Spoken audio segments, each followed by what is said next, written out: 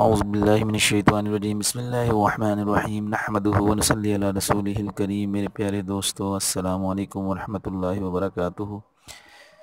آج بارہ ربیع الاول ہے اور اس وقت ساڑھے چھ کا وقت ہوا ہے۔ بارہ ربیع الاول ہمارے پیارے نبی صلی اللہ علیہ وسلم کی تشریف آوری کا، دنیا میں تشریف آوری کا دن ہے۔ اور اس وقت پیارے نبی صلی اللہ علیہ وسلم دنیا میں تشریف لے کر آ گئے تھے۔ پیر کا دن تھا۔ اور تقریباً چار سے پانچ کے دوران پیارے نبی صلی اللہ علیہ وسلم دنیا میں تشریف لے کر آئے اور حضرت آمنہ رضی اللہ تعالی عنہ کے گھر میں خوشیوں کا سما اور مختلف دائیاں جو ہے مکہ سے اور اس کے اطراف سے لوگوں کے گھروں میں آتی تھی اور دودھ پلانے کے لیے اپنی خدمات دیتی تھی۔ تو اب حضرت حلیمہ رضی اللہ تعالی عنہ جو ہے، ان کی سواری بھی کمزور اور وہ سب سے بعد میں پہنچی اور تمام دوسری عورتیں مکہ کے امیر امیر لوگوں کے بچے لے کر جا چکی تھی اور یہ سب سے پیچھے رہ چکی تھی۔ تو اب ایک ہی گھر انہوں نے جب یہ آئی تو حضرت آمنہ رضی اللہ تعالیٰ عنہ کے گھر آئی اور وہاں دیکھا کہ ایک ایک بچہ ہے، انتہائی خوبصورت، انتہائی پیارا، جس کا باپ بھی نہیں ہے، یتیم بچہ ہے۔ تو انہوں نے سوچا کہ چلو کوئی بات نہیں، میں اس کو لے چلتی ہوں۔ تو بھائی جب واپسی، اب سواری بھی سب سے کمزور ہے، لے کر گئی۔ تو اب راستے میں باقی لوگ لوٹ رہے ہیں، ان کی سواری کمزور ہے۔ لیکن جیسے ہی سواری پہ بیٹھی تو سواری اتنی تیز ہو گئی کہ سب کو پیچھے چھوڑ دیا۔ اور ایک انتہائی خوبصورت بچہ ساتھ ہے۔ تو جب راستے سے ان کو کراس کرنے لگی تو ان عورتوں نے کہا کہ، حلیمہ، کیا بات ہے؟ یہ تمہاری سواری کو کیا ہوا ہے؟ تم کتنے، کیا تم نے سواری بدل لی ہے؟ کہ تم اتنی تیز تیز جو ہے وہ بھاگی جا رہی ہو؟ تو حلیمہ رضی اللہ تعالیٰ نے کہا، نہیں، سواری تو نہیں بدلی، سواری تو وہی ہے پہلے والی۔ ہاں سوار اللہ نے بدل دیا ہے۔ تو پیارے نبی صلی اللہ علیہ وسلم کے معجزات تو پیارے نبی صلی اللہ علیہ وسلم کے دنیا میں آنے سے پہلے ہی اللہ تعالیٰ نے ظاہر کرنا شروع کر دیے تھے۔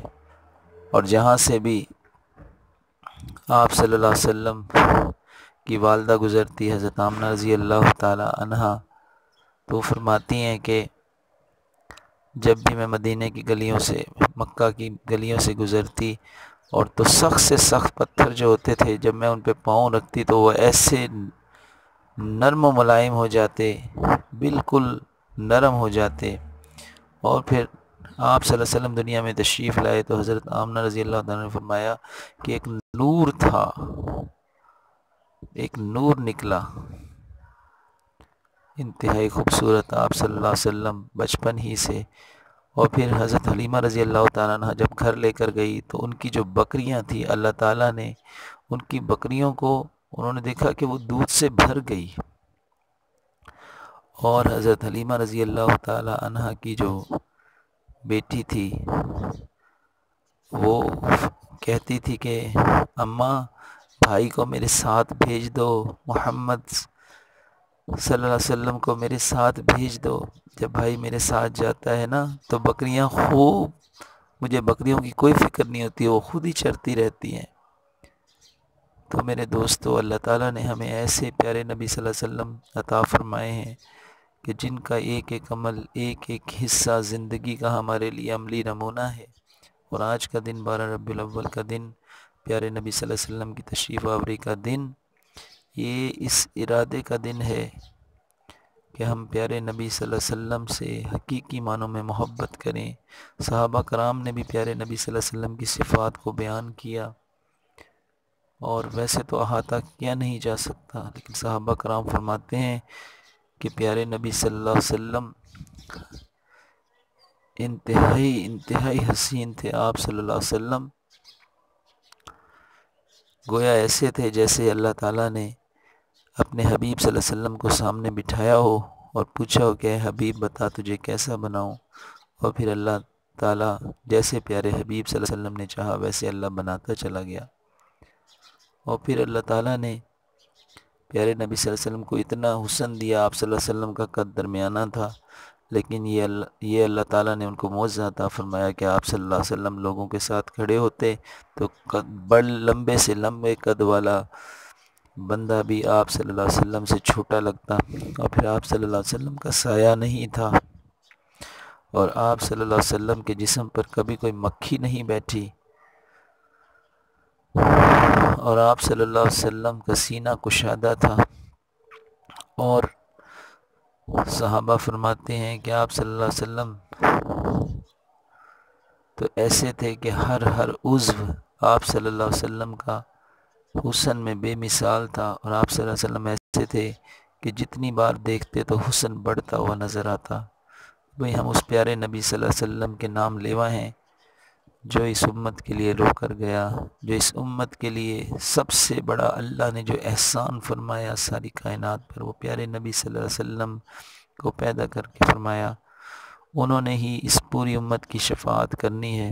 تو ہم ان کے نام لیوا ہیں۔ تو آج بارہ رب الاول کا دن اس بات کا اصل میں ارادہ کرنے کا ہے کہ ہم سب یہ ارادہ کر لیں اور بلکہ عزم کر لیں کہ ہم اللہ سے مانگتے ہوئے ہم کلمہ لا الہ الا اللہ محمد رسول اللہ پڑھنے والے ہیں، تو ہمارے دل کے اندر اللہ کی وحدانیت، اللہ کا خوف، اللہ کی محبت، اللہ سے ہونے کا یقین بیٹھ جائے اور ہمارے جسم سے پیارے نبی صلی اللہ علیہ وسلم والے مبارک اعمال، پیارے نبی صلی اللہ علیہ وسلم کی مبارک سیرت اور لباس اور چہرہ اور حلیہ اور اخلاق اور اور معاشرت، عبادات، یہ ظاہر ہوں۔ تو یہ اصل کامیابی ہے، اصل کامیابی ہے ہی دین کے اندر۔ اللہ تعالیٰ ہمیں توفیق عطا فرمائے تو ہم سب یہ نیت کر لیں کہ انشاء اللہ تعالیٰ ہم پیارے نبی صلی اللہ علیہ وسلم کے صحیح معنوں میں امتی بنیں گے۔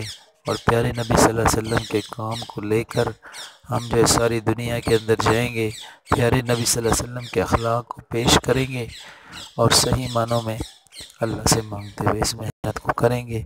اللہ تعالیٰ مجھے اور آپ کو عمل کی توفیق عطا فرمائے اور اللہ تعالیٰ ہم سب کا ایمان اور کلمے پر خاتمہ نصیب فرمائے اور اللہ تعالیٰ ہمیں ایسا بنا دے، ہمیں بھی اور پوری امت کو کہ ہم سب اللہ کو پسند آ جائیں۔ اور سب کے سب جنت میں جانے والے بن جائیں اور جہنم سے بچ جائیں۔ اللہ تعالیٰ آپ کا اور میرا ہم یا ناصر ہو۔ اپنا بہت خیال رکھیے گا۔ اللہ تعالیٰ ہم سب کو جو کچھ کہا سنا، ہماری طرف سے قبول فرمائے اور کمی کوتاہی کو معاف فرما کر اللہ ہم سب کا ایمان اور کرم پر خاتمہ نصیب فرمائے۔ فی امان اللہ۔ اللہ حافظ۔ السلام علیکم۔